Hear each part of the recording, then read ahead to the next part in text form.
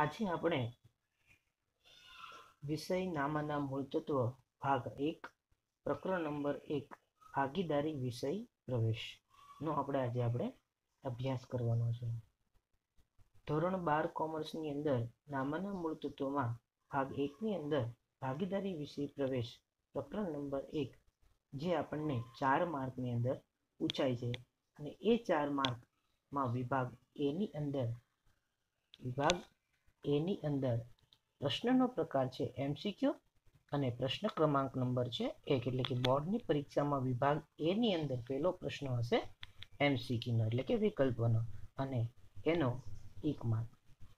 ત્યાર પછી સેક્શન સીની અંદર ટૂંકા દાખલા જે ત્રણ માર્કના છે, બોર્ડની પરીક્ષાની અંદર એ પ્રશ્ન ક્રમાંક નંબર એકવીસ ઉપર આપણને જોવા મળશે અને એના માર્ક છે ત્રણ. તો એ વિભાગમાંથી એક માર્ક અને સી વિભાગમાંથી ટૂંકો દાખલો ત્રણ માર્કનો એમ કરીને કુલ ચાર માર્કનું કન્ટેન્ટ આપણને ભાગીદારી વિષય પ્રવેશમાંથી પૂછાવાનું છે. તો આ જે ટૂંકા દાખલા છે, એ પ્રકરણ નંબર એકમાંથી પૂછાવાના છે. એની આપણે એક પેલી પદ્ધતિને પેલી પદ્ધતિ જે છે, એની આપણે આજે અભ્યાસ કરવાનો છે. તો પહેલી પદ્ધતિનું નામ છે શરૂઆતની મૂડી પર વ્યાજ ગણવાની પદ્ધતિ. તો દાખલામાં આપણને હંમેશા શરૂઆતની મૂડી આપેલી પણ હોય અને શરૂઆતની મૂડી ન પણ આપેલી હોય.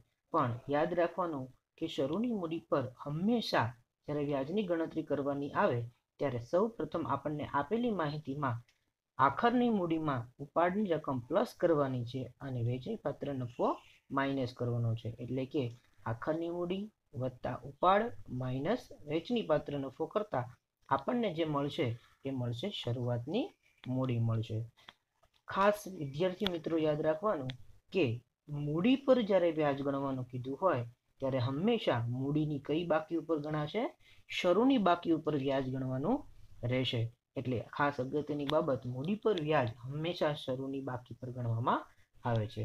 તો શરૂની મૂડી આપણે શોધાઈ ગઈ, ત્યાર પછી મૂડી પર વ્યાજનું સૂત્ર છે શરૂની મૂડી ગુણાકાર વ્યાજનો દર છેદમાં સો.